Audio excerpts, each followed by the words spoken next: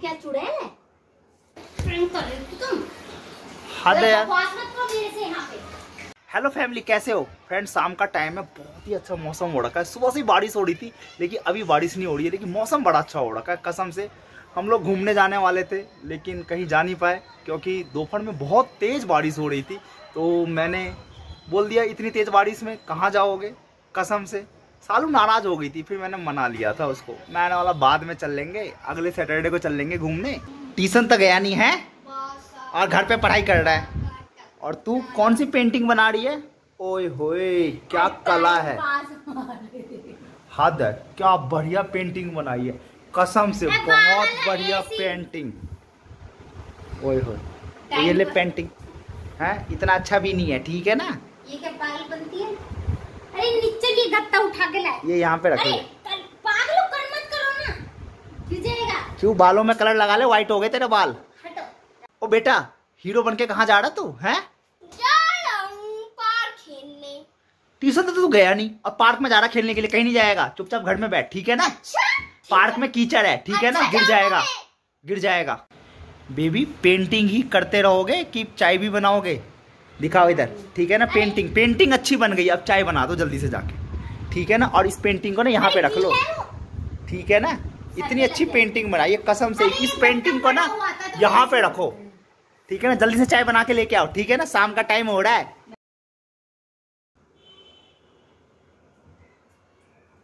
चलो चाय भी लो बना दी मैंने चाय। ले आओ यार यहीं पे चाय। अब मैं चाय भी यहाँ लेके मैंने बना दे तो क्या वहाँ पे नहीं पी सकते हो? अब ऐसे ही मैंने बेडशीट आज ही धोई है मैं नहीं धोऊँगी अब दोबारा।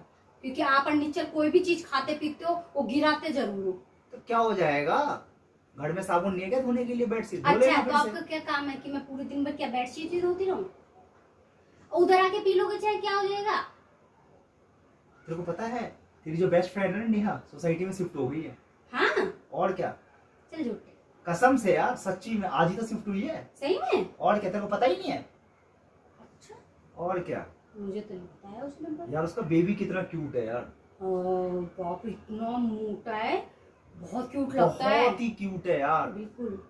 वो लगता है बिल्कुल क्या कहते हैं नकली सा लगता है देखने में बिल्कुल। इतना मोटा है। डॉल सा लगता है। हाँ बाप रे बहुत क्यूट लगता है। कसम से। लेकिन नेहा भी तो क्यूट है।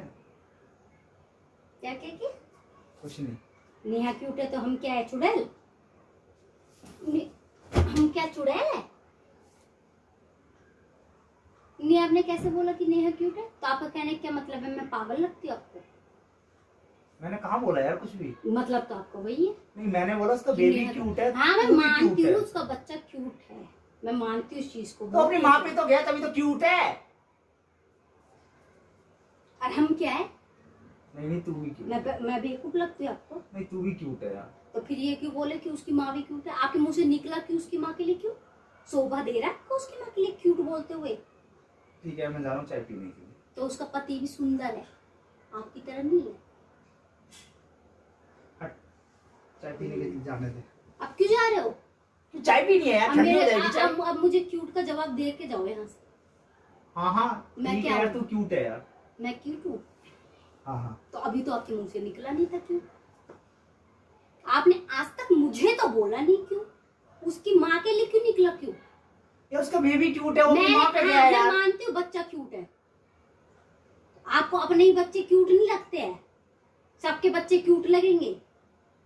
यही है ना आपको? बोलोगे निश्चल को? नहीं यार निश्चल को मत बोल। नहीं अपना बच्चा आपको बेवकूफ़ लगता है।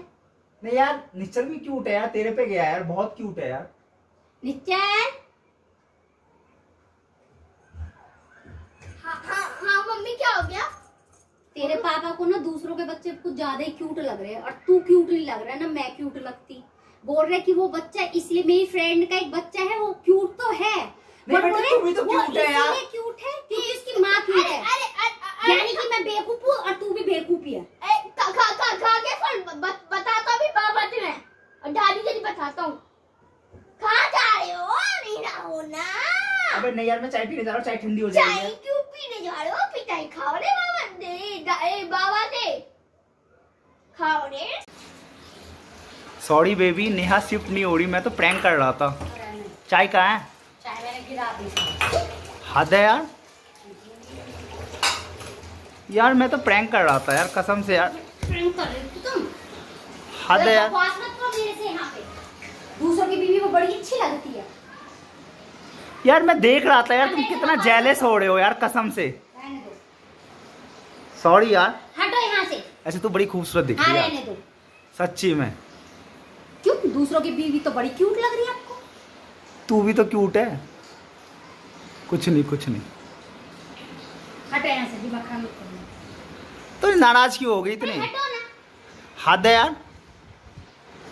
सॉरी बेबी सॉरी ज़्यादा बकवास मत करो चले जाओ। सॉरी यार। नेहा पसंद है ना उसी के पास जाओ उसी को क्यूट बोलो। जाओ यार तुम भी क्यूट हो यार। वो क्यूट नहीं है यार। कसम से यार। मुझे बात करनी ही नहीं है। हद है यार। चलो ना छत पर घूमने चलते हैं। वो बात ही करनी है। यार ये कौन सी बात है? बात नहीं करनी है यार। अरे यार मैं तो प्रैंक कर रहा था यार। वो सोसाइटी में शिफ्ट नहीं हुई है यार। वो आई नहीं है यार चंडीगढ़ से। मैंने बोला ना बात नहीं करनी। हद है यार। हमेशा बात नहीं करनी है। जा रहे नहीं जा रहे? कहाँ जाऊँ?